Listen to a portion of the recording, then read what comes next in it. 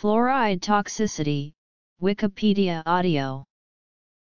Fluoride toxicity is a condition in which there are elevated levels of the fluoride ion in the body.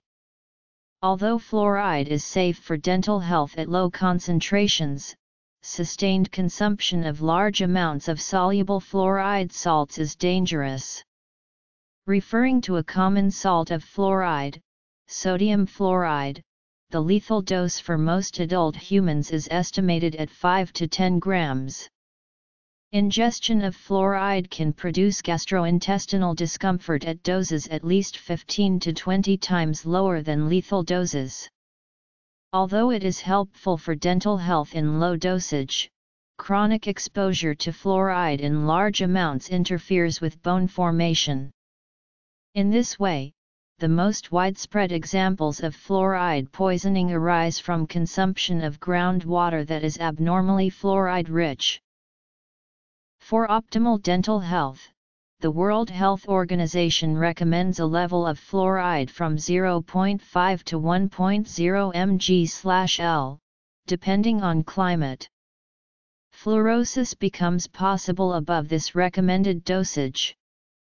As of 2015, the United States Health and Human Services Department recommends a maximum of 0.7 mg of fluoride per liter of water updating and replacing the previous recommended range of 0.7 to 1.2 mg issued in 1962. The new recommended level is intended to reduce the occurrence of dental fluorosis while maintaining water fluoridation.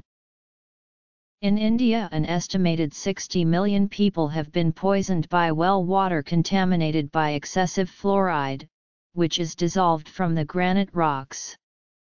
The effects are particularly evident in the bone deformities of children. Similar or larger problems are anticipated in other countries including China, Uzbekistan, and Ethiopia.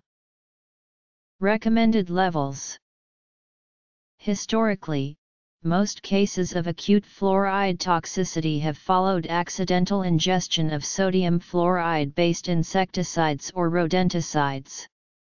Currently, in advanced countries, most cases of fluoride exposure are due to the ingestion of dental fluoride products. Other sources include glass etching or chrome cleaning agents like ammonium bifluoride or hydrofluoric acid, industrial exposure to fluxes used to promote the flow of a molten metal on a solid surface, volcanic ejecta, and metal cleaners. Malfunction of water fluoridation equipment has happened several times, including a notable incident in Alaska. 20% of modern pharmaceuticals contain fluorine. These organofluorine compounds are not sources of fluoride poisoning. The carbon-fluorine bond is too strong to release fluoride. Children may experience gastrointestinal distress upon ingesting excessive amounts of flavored toothpaste. Between 1990 and 1994, over 628 people, mostly children, were treated after ingesting too much fluoride-containing toothpaste. While the outcomes were generally not serious, gastrointestinal symptoms appear to be the most common problem reported. However given the low concentration of fluoride present in dental products, this is potentially due to consumption of other major components. Around one-third of the world's population drinks water from groundwater resources. Of this, about 10%, approximately 300 million people, obtains water from groundwater resources that are heavily contaminated with arsenic or fluoride. These trace elements derive mainly from leaching of minerals. Maps are available of locations of potential problematic wells via the Groundwater Assessment Platform GAP. Excess fluoride consumption has been studied as a factor in the following. Some research has suggested that high levels of fluoride exposure may adversely affect neurodevelopment in children, but the evidence is of insufficient quality to allow any firm conclusions to be drawn. Whilst fluoridated water is associated with decreased levels of fractures in a population, toxic levels of fluoride have been associated with a weakening of bones and an increase in hip and wrist fractures. The U.S. National Research Council concludes that fractures with fluoride levels 1,4 mg/L, suggesting a dose-response relationship, but states that there is suggestive but inadequate for drawing firm conclusions about the risk or safety of exposures at dot 170. Consumption of fluoride at levels beyond those used in fluoridated water for a long period of time causes skeletal fluorosis. In some areas, particularly the Asian subcontinent, skeletal fluorosis is endemic. It is known to cause irritable bowel symptoms and joint pain. Early stages are not clinically obvious, and may be misdiagnosed as rheumatoid arthritis or ankylosing spondylitis. Fluoride-induced nephrotoxicity is kidney injury due to toxic levels of serum fluoride, commonly due to release of fluoride from fluorine-containing drugs, such as methoxyflurane. Toxicity Within the recommended dose, no effects are expected, but chronic ingestion in excess of 12 mg/day are expected to cause adverse effects, and an intake that high is possible when fluoride levels are around 4 mg/L.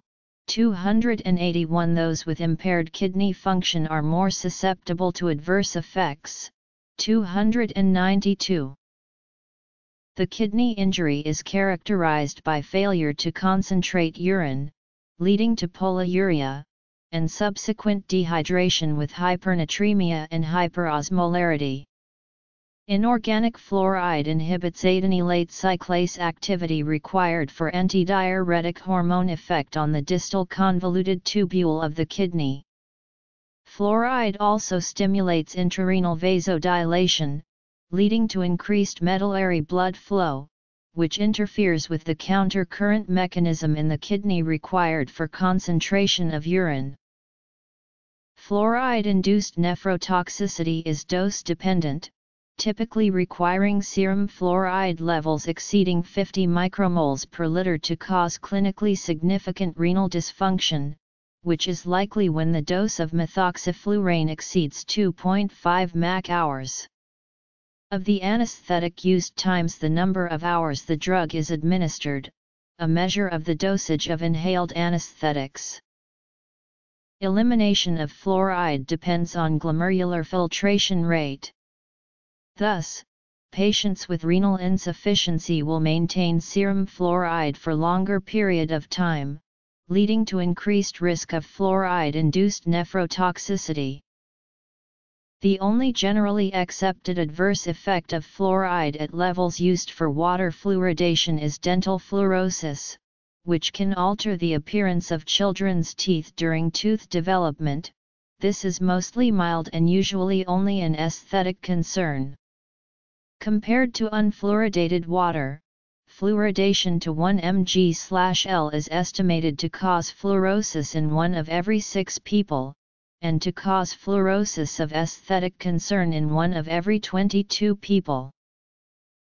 Fluoride's suppressive effect on the thyroid is more severe when iodine is deficient, and fluoride is associated with lower levels of iodine.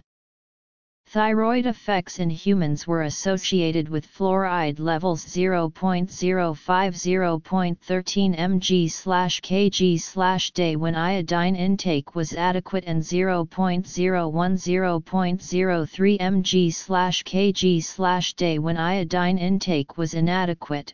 263 Its mechanisms and effects on the endocrine system remain unclear.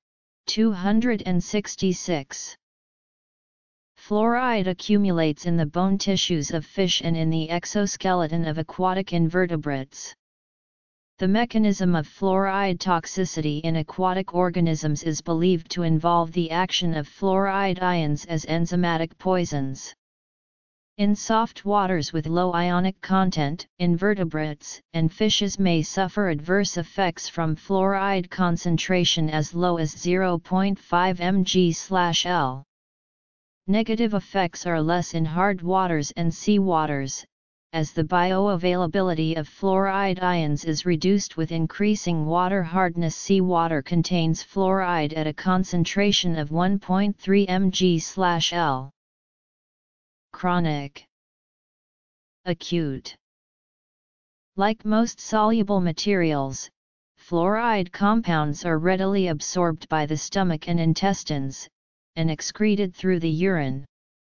Urine tests have been used to ascertain rates of excretion in order to set upper limits in exposure to fluoride compounds and associated detrimental health effects.